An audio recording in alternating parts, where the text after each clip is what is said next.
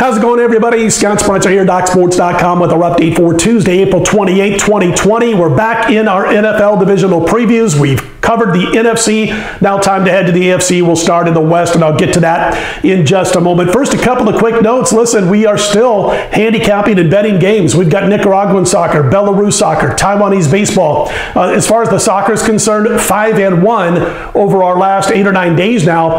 And as far as all sports combined, we are now on an eight and three run uh, going back to last weekend, not this past weekend, but 10 days ago or so.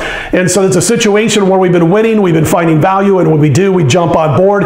You can check out my daily homepage over at DocSports.com and, and see when we do have daily picks. Uh, we will have our next soccer play available on Wednesday. It'll be posted at 11:30 a.m. Eastern, 8:30 a.m. Pacific for Wednesday's Nicaraguan soccer action. In fact, this week in soccer, we've got Wednesday soccer, Friday soccer, Saturday soccer, Sunday soccer. So you get the picture, and we're on a red hot run right now on the pitch, going five and one over the last eight days. So be sure to check that out. Taiwanese baseball, boy, it goes early in the morning. If you're a, an early riser on the East Coast or you're a night owl on the West Coast, uh, be sure to check it out because I do have two or three Taiwanese baseball plays per week. But again, they are early morning games uh, as far as our times are concerned in the U.S. And, and by the way, don't forget about that $60 free account. You can still click on the video, excuse me, click on the link below this video. Get yourself set up for a free $60 account, which can be used now on one of these daily packages that I've been talking about, or you can hold on to it and wait until we get some North American sports. Speaking of North American sports,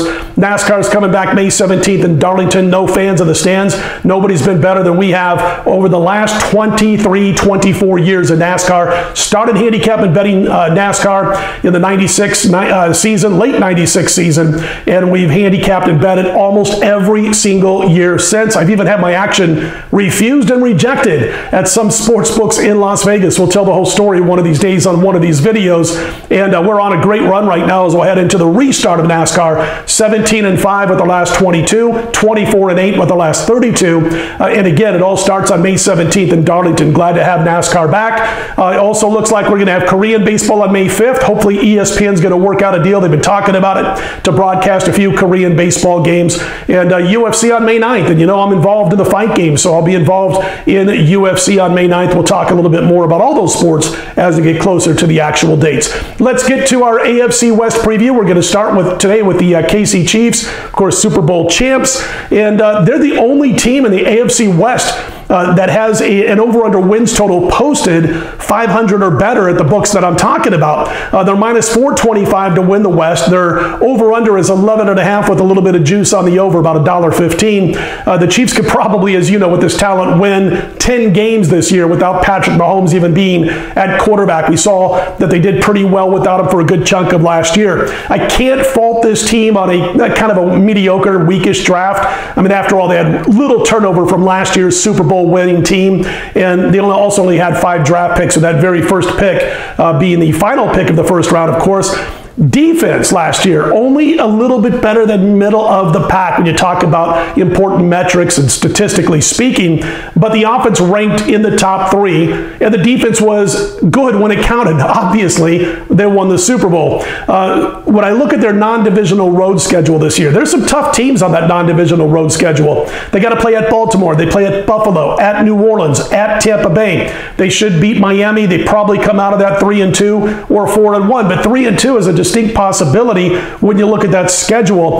Uh, when you look at what they're doing at home, they should be able to get through it, maybe even unscathed. Seven and one, eight and zero, oh. and at the very most, I have this team losing two divisional games, maybe a couple on the road. They do have that home non-divisional game against New England. I think they'll get past the Patriots without Brady and what New England's going to bring on offense this season. So I really think that this team winning less than 12 games is kind of hard to imagine unless they suffer some serious injuries or don't quite have that motivation between the years. But with Andy Reid, with a leader like Patrick Mahomes on offense, I think the motivation will be there uh, to back up what they did last season. So I, I lean towards the over with KC. It's 11 and a half. I think this is a 12 win team, barring any significant injuries. We'll call KC over 11 and a half. And uh, listen, don't forget to check out DocSports.com, the homepage, the videos, uh, because on Tuesday, Rafael Esparza and I are going to sit down and we're going to break down a division in the AFC per video. So we're to have four videos, four divisions. We're to release those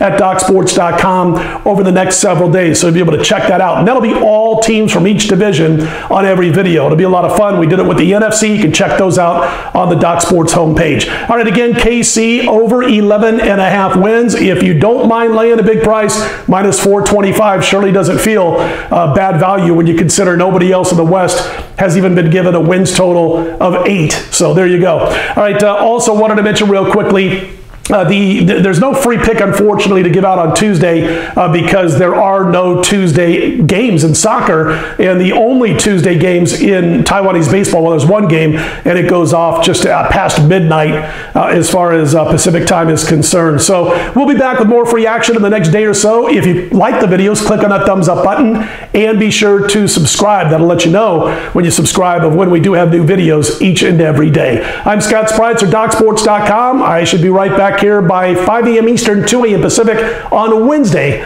with my next team preview. We're going to jump into the Denver Broncos with that particular video. We'll talk to you then.